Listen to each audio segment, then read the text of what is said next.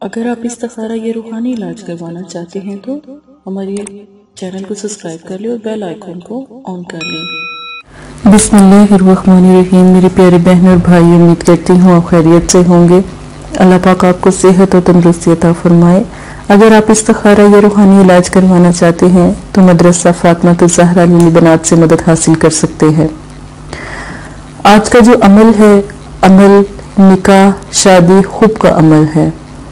जो बहुत से बहन भाइयों की फरमाइश पर आपको लाइव आकर समझाया जाएगा कि आप अमल में गलती कहाँ कर रहे हैं और आप गलती क्यों करते हैं अमल में। ये तमाम चीज़ें आज आपको गाइड की जाएँगी, समझाया जाएगा, अमल का तरीका आपको बताया जाएगा। आप बिल्कुल वैसे अमल कीजिएगा। उससे पहले एक छोटा सा पैगाम आपको देना चाहूँगी कि अगर आपको हमारी वीडियोस पसंद आती है, हमारी हौसला अफजाई के लिए आप ज़रूर हमारे चैनल को शेयर भी करें लाइक भी करें कमेंट्स भी करें, ताकि आपकी मदद की जा सके। जो भी मसला परेशानी है, आप अपनी बहन से बयान कर सकते हैं। तो इनशाला मुझसे जहाँ तक हो सका, मैं ज़रूर अपने प्यारे बहन भाइयों की मदद करूँगी। यहाँ कोई जादू तावीज़ात नहीं होते, सिर्फ़ कुरान पाक से मदद ली जाती है। कुरान पाक से ही तमाम काम सूर्य मुबारक से, नक्श मुबारक से, अल्लाह पाक के वज़ाइफ और नामों से जो सा है, सिर्फ़ अमल किए जाते हैं, या समझाए जाते हैं, या बताए जाते हैं। गलत अमलियात के लिए, गलत अमल वज़ाइफ के लिए प्लीज़ हमसे रबता ना करें। आप बहन की बात को मेरा ख्याल है अच्छे तरीके से समझ चुके होंगे।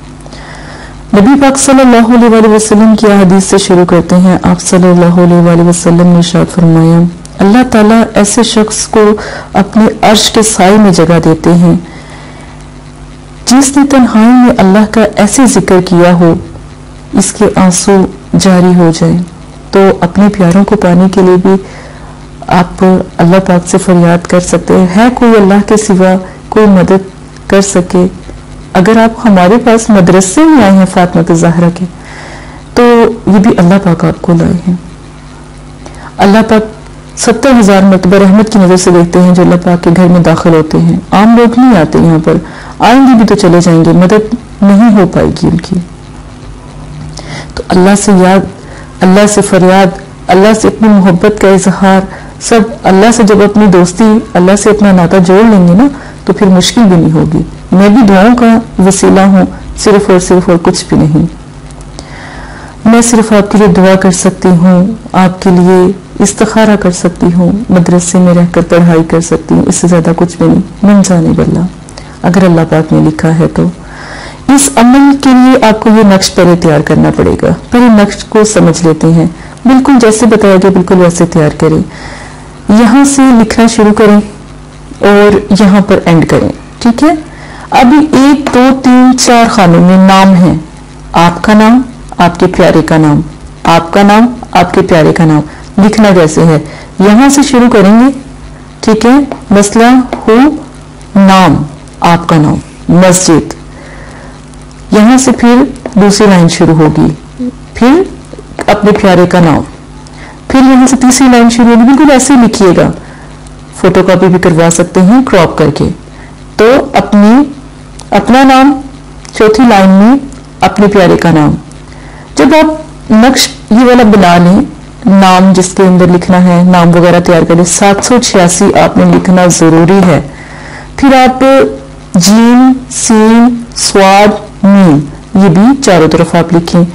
फला बिन फला, आपका नाम फला, आपका नाम बिन फला, आपकी माँ का नाम, वालदा का नाम। आला हो फिर फला बिन फला जिसके लिए आप अमल कर रहे हैं, जिसके लिए आप दुआ कर रहे हैं, उसका नाम और उसकी वालदा का नाम। अगर उसकी वालदा का नाम आपको नहीं पता, ठीक है? अगर उसकी वालदा का नाम आपको नहीं पता, प्यारे बहन भाइयों तो अम्मा हवा लिख सकते हैं। अच्छा अगर अम्मा हवा अगर आप लिखते हैं, अगर आपको उसका भी मतलब के नाम अम्मा हवा का जब नाम लिखते हैं, उससे, उसके लिए भी आपको चाहिए कि उसके माँ का नाम, उसके वालद का नाम आपको पता होना चाहिए। ये चीज़ें आपको मालूम होनी चाहिए। तो पहले माँ का नाम नहीं पता, वालद का नाम नहीं पता, फिर अम्मा हवा आपने लिखना है। ठीक है? ये चीज़ आपने गौर से समझ लेनी है। जब नक्श तैयार कर ले इसको अपने तकिए के नीचे रख लीजिएगा। उसके बाद या वदूदू उसके बाद या वदूदू आपने या वदूदू को पढ़ने का तरीका आप सुन लें। जुकात इस अमल की कोई नहीं है। ईशा की नमाज़ को आपको शुरू करना है। ईशा की नमाज़ के खास अल्लाह पाक मोहब्बत रखते हैं। और खामोशी होती है, कोई सुन भी नहीं रहा, शोर भी नहीं होता, घर में सुकून होता है तो फिर आप ईशा के टाइम ये अमल करें। दिन कोई सा भी रख लें। मंगल का दिन ना रखिएगा, बाकी कोई सा भी दिन रख लें। अव्वल आखिर तीन बार या वदूदू या रहमानू। पहले दूसरी पढ़े फिर या वदूदू या रहमान तीन सौ मरतबा पढ़े फिर द्रोशी पढ़े ये आपने लाजिम इस तरह ही पढ़ना है। द्रुद पाक अव्वल आखिर तीन तीन बार पढ़ेंगे। नमाज़ लाजिम है, कुछ भी हो नमाज़ ना छोड़िएगा। नमाज़ दिन का सतून है, अल्लाह पाक इस चीज़ को कबूल करे। आप नमाज़ पढ़ेंगे तो अल्लाह पाक खुश होंगे, और जब खुश होंगे तो आपकी दुआएँ भी कबूल होंगी। अमल की तादाद तीन सौ मरतबा है। या वरूदू या रहमानी, कितने दफ़ा पढ़ना? तीन सौ मरतबा। ठीक है? अब आपने ये चीज़ मतलब ये अमल कर लिया। आपने सबसे पहले नक्श तैयार करके तकिए के नीचे रख लेना है, नाम समेत। सुबह उठ के नक्श को उठा के रख लें। ये अमल कितने दिन करना है? तीन दिन। ठीक है? तीन दिन। अमल तीन दिन करना है। ठीक है? उसके बाद एक तस्वीर आपके पास अपने प्यारे की होनी चाहिए। ठीक है? तस्वीर। अगर तस्वीर नहीं है तो उसका तस्वुर तो आपको होता ही होगा, तस्वुर तो उसको आप समझते होंगे तस्वुर कैसे करना है। थोड़ी देर तस्वीर को देखे और तस्वुर कायम हो जाएगा। थोड़ी देर तस्वीर को देखे, तस्वुर कायम, दस मिनट तस्वीर को देखे, फिर ये या वदूदू और या रहमानू का अमल करके तस्वीर के ऊपर फूक मारते, दम कर करते। ठीक है? अब ये ये अमल आपने जब कर लिया, आप दुआ करके आराम से सो जाएँ, पहले ईशा की नमाज़ पढ़ लें, फिर नक्श तैयार कर लें, फिर ये या वदूदू या रहमान रहमानों को पढ़ लें। तीन सौ मीटर पढ़ने के बाद अव्वल आखिर दूसरी ज़रूर पढ़ लीजिएगा। फिर आप अपनी तस्वीर पर आखिर में दम करके फिर आप आराम करें, सो जाए। बोलना नहीं बोलना नहीं किसी से भी, बात नहीं करनी। आप सो जाए। अल्हम्दुलिल्लाह, अल्लाह के हुक्म से एक दिन में ही माशाल्लाह, अल्हम्दुलिल्लाह आपका काम हो जाता है। का इसलिए बोला है कि आपका प्यारा, जितना हम अल्लाह का कलाम पढ़ते हैं ना, उतनी ही तलब उसके अंदर पैदा होती है। ठीक है? जब ये नक्श आप बना लें, अब नक्श जब आपका काम हो जाए, जब आपका मुकम्मल काम हो जाए, एक दिन में हो, दो दिन में, तीसरे दिन हो जाए, आपने नक्श को पानी में डालना है। पानी में ये बिल्कुल नरम पड़ जाएगा। ठीक है? कागज़ के ऊपर जब लिखेंगे तो ये नरम पड़ जाएगा। नरम जब पड़ेगा ना तो फिर आप ऐसा कीजिएगा, आप पानी में डालकर तो जब वो पानी में सारा घुल जाए, कलर इसके घुल जाए, मार्कर से तैयार कर लें। मार्कर से, काले मार्कर से कर लें, सुरख मार्कर से कर लें, सबस मार्कर से कर लें, ठीक है? इनसे तैयार कर लें। फिर ये पानी में घुल जाएगा। फिर पानी में से इसको निकालें तो किसी ऊँची जगह पर रख दें, दीवार में रख दें और पानी को दीवार के ऊपर गिरा दें। किसी, अगर आपके घर में कोई पौधा है, उसके जड़ों में डाल सकते हैं, पानी पौधे के ऊपर डाल सकते हैं, ताकि भेद भी ना हो। अब ये चीज़ें आपने समझ ली कोई बात अगर आपको समझ नहीं आती, किसी बात का आपको लगता है कि ये चीज़ भूल रहे हैं, यहाँ से आपको समझ नहीं बहन से रबता कर लें। इस्तखारा करवा लें। इस्तखारा करवाने से जो भी अमल आपके इस्तखारे में आएगा, वो आपके लिए बेहतर होगा। नंबर एक। नंबर दो, इस्तखारे से अगर आपके ऊपर जादू, सफीलम या कोई बंदिश, ये पता लग जाती है, जिसकी वजह से अमल कामयाब नहीं हो रहा होता, अमल पूरा नहीं हो रहा होता। आप हज़ारों अमल और की वीडियो भी देख देख कर कर रहे होंगे, लेकिन वो पूरा क्यों नहीं हो रहा? इसी वजह से मैंने आपको ये तमाम पूरी कोशिश किया समझाने की, ताकि आप अच्छे से ये अमल समझ लें।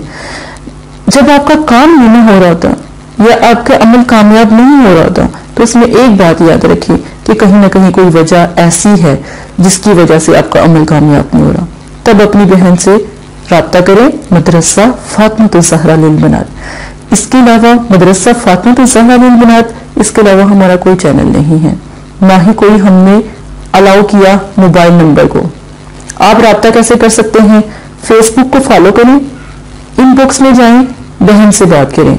मैं आपसे खुद बात करूँगी। मदरसे में कोई बात नहीं आपसे करेगा। यूट्यूब पर जाएँ कमेंट्स बॉक्स में जाएँ चैनल को सब्सक्राइब कर लें लाइक कर लें, ठीक है? अगर आपको वीडियो पसंद आ रही है तो हमारी हौसला अफजाई ज़रूर करें ताकि मैं आपके लिए और मजीद इस तरह के अच्छे अमल जो आपको समझ नहीं आ रहे मैं ज़रूर आपके लिए बनाऊँ।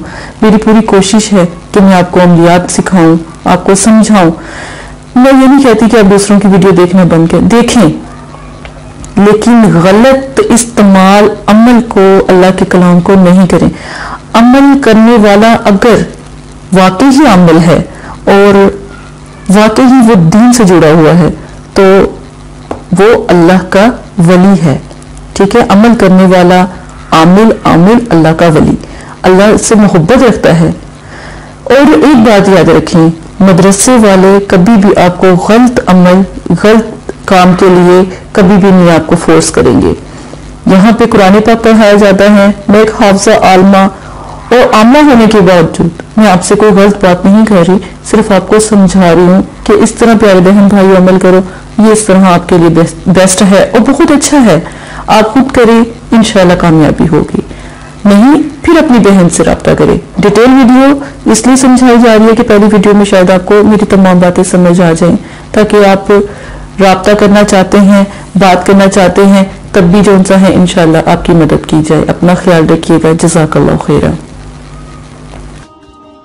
वालेकुम, प्यारे बहन भाइयों। अगर आप इस्तारा या रूहानी इलाज करवाना चाहते हैं, या अमल करवाना चाहते हैं, या अमलियात सीखना चाहते हैं तो हमारे फेसबुक पर आकर आप फेसबुक को फॉलो कर सकते हैं और यूट्यूब चैनल को सब्सक्राइब करके वहाँ पर हमसे बात कर सकते हैं। जो भी मसला परेशानी है, उसमें ज़रूरत आपका नाम, आपकी वालदा का नाम सिटी कंट्री मौजूदा और मसला बयान ये चीज़ें बताकर आप अपना इस्तारा भी करवा सकते हैं, जजाकल्ला। और अगर आपने इस्तारा करवाना है, तभी रबता करें। अगर इस्तारा नहीं करवाना तो ये दीन है, ये कोई फन या इंटरटेनमेंट नहीं है। अपना भी टाइम जाया ना करे और मदरसे वालों का भी टाइम ना जाया करे। आपकी वजह से बहुत से ऐसे लोग जो परेशान हाल घरों में हैं, उनकी भी बात फिर नहीं सुनी जा सकती, जैसा कला